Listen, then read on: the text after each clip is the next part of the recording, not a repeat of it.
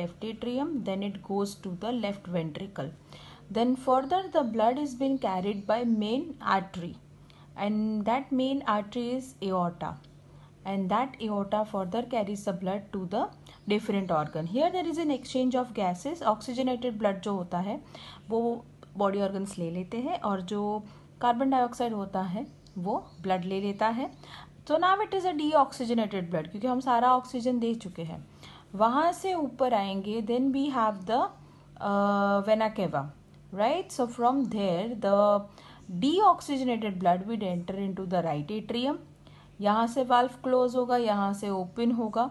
Right atrium to right ventricle right ventricle में आएगा, तब यहाँ पे वाल्व का बंद होगा.